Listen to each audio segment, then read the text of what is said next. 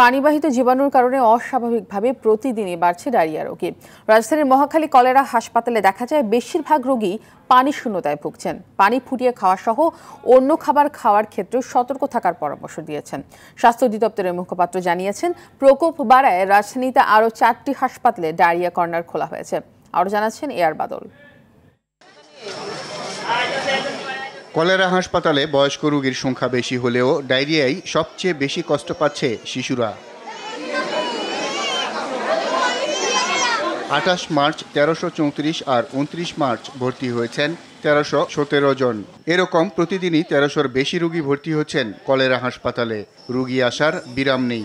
Ambulance, CNG, autorickshaw বা রিক্সাতে করে রুগী আসছেই।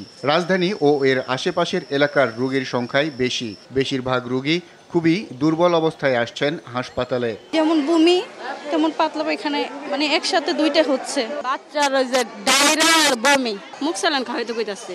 তা আমি তো খাওয়াইতেছি কোনোটাই আমি দেখতেছি না। কারণ তো চিকিৎসা টিকিৎসা পাইছেন মোটামুটি রুগী আমার সুস্থর পথে। চিকিৎসক জানান সিজনের আগেই মূলত রুগীর চাপ বেড়েছে। যা এখন নিয়মিত ব্যাপার হয়ে দাঁড়িয়েছে। সব ধরনের খাবার খাওয়ার ক্ষেত্রে সচেতন থাকার পরামর্শ দিয়েছেন তিনি। মিড মার্চ থেকে আমরা দেখতে পাচ্ছি যে ডায়রিয়ার রোগী অনেক বেড়ে গিয়েছে। তো প্রতি বছরই আসলে আমাদের ডায়রিয়ার একটা পিক হয় এপ্রিল থেকে শুরু হয়। তো এবারের পিকটা একটু আর্লি শুরু হয়ে গেছে মানে মিড মার্চ থেকে শুরু হয়েছে। তো এর মধ্যে অ্যাডাল্ট পেশেন্টই বেশি। A R Badal R TV Dhaka.